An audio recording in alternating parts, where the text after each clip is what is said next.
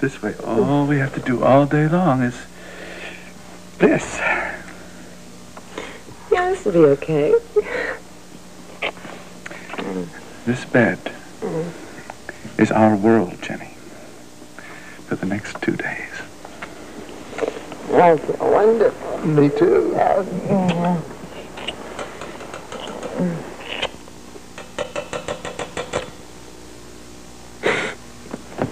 I'll tell you what, tell you what.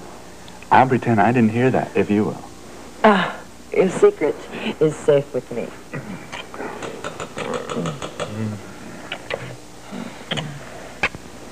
Oh. Wait a minute, wait a minute. I just realized who that is. Who? You ready? It's Cassie. Oh. I told her uh, she's going to drop off some papers before she goes to school today. And your car is out front and she knows you're Mm-hmm. So go say hello to your daughter. Just a quick hello. Yeah. Go. Okay. We'll be right back. I'll be right here.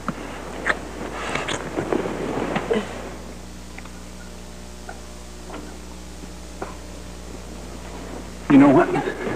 You are stark raving perfect. Mm. Go, go, go. Okay, okay.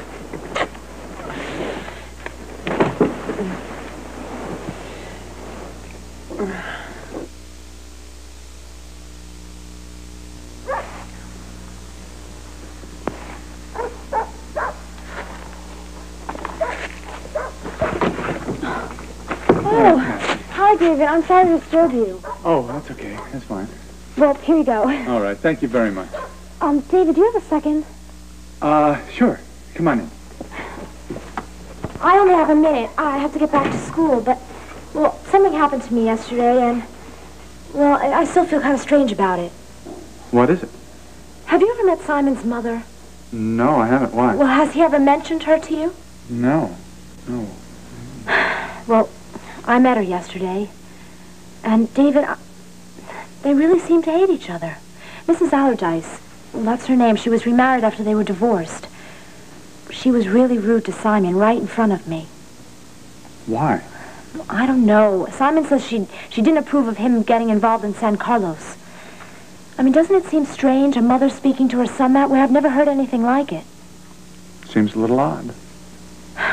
Anyway, she also said that, that he shouldn't be trusted. And you know, I mean, after all that thing I, I went through with Nikos, I trusted everything he said and then find out that everything was lies. Well, I don't know if I want to go through that again, you know? Yes, I know. Look, you know, one of the hardest things about growing up is having to learn to be cautious, you know? But it's absolutely necessary because as soon as you care for somebody, no matter how strong you are, you're totally vulnerable. You know? So what do you think about Simon? I don't know what to think about Simon. I know that he is, uh, is unreasonably idealistic. So you think his mother's right? No, I wouldn't say that. I look. One thing I'm sure of: the Simon that I know would never, ever just set out and go out of his way to hurt somebody, particularly somebody as sweet and as delightful as you are. Thank you. I mean it. Well, look, David, I, I better get going. I think my minute's up. No. I don't want to get in trouble. All right. Um, thanks, David. I hope I was some help. Bye.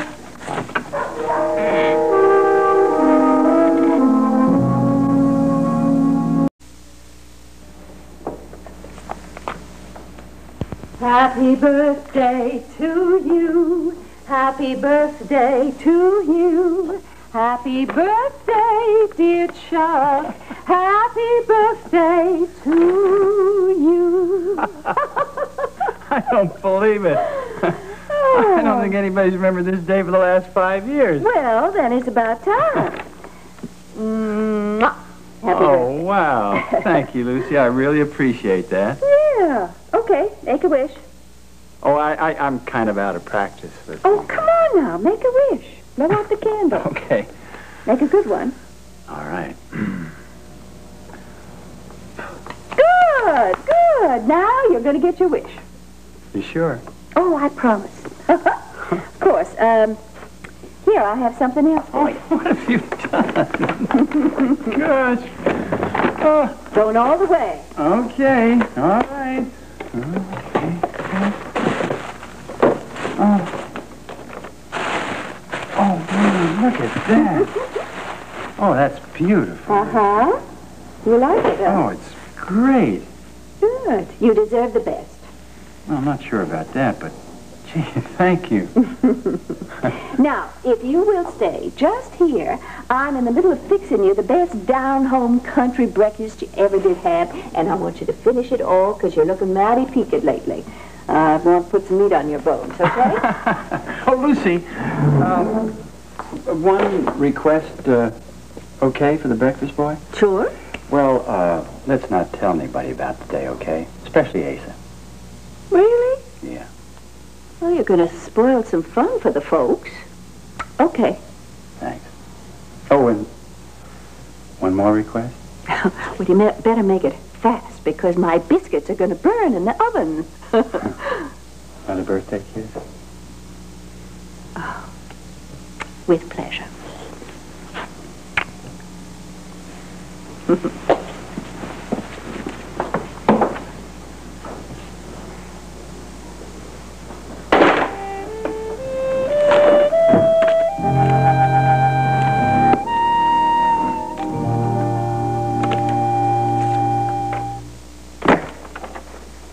Mr. Callison. Hello, Simon.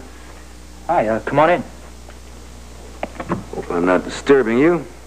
No, not at all.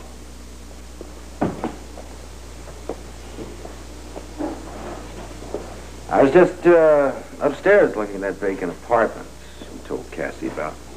Ah, how was it? Possibility. Thanks for the lead.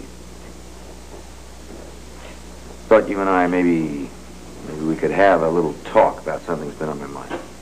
Uh, sure, would you like to sit down? There? About Cassie. Ah. Uh, what about her?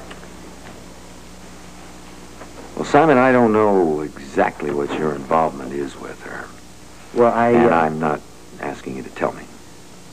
All I'm certain of at this point is that you are the young man who seems to be spending a great deal of time with my daughter, sometimes quite late at night. Mr. Callison, And let me finish. I recognize that I am very protective of Cassie, possibly too much so, but that's how I am, and I'm unlikely to change. And maybe you know this, and maybe you don't. But she was very badly hurt by a young man named Nikos. oh, why are you telling me this? I'm telling you this because I want to make it clear that Cassie is extremely sensitive and easily hurt. And I want you to understand that anyone who hurts my daughter will have me to deal with. I don't want you trying to take advantage of her in any way whatsoever, physical or emotional. I understand that. Mr. Callison, I have Cassie's best interests at heart. And I realize she is very sweet and innocent and vulnerable. If anyone were to hurt her, I'd be right there with you, protecting and defending her. Glad to hear that. Just wanted to make sure we understood each other. Sure. Nice place. Oh, thank you. I've been trying to fix it up a little bit. That's pretty. Housewarming present. No. Cassie uh, wanted to leave that with me. she uh, uh, didn't want to give it to you and Mrs. Callison under the circumstances. What a lovely present it would have made. Please don't mention to Cassie that I saw this. I won't. You see, she tries to protect me as well. Look, I cannot mention that you came over if you'd like. Suit yourself, I'm going to tell her. I hope that you'll believe what I said. I, mean, I don't think anyone could be as protective as Cassie as I am.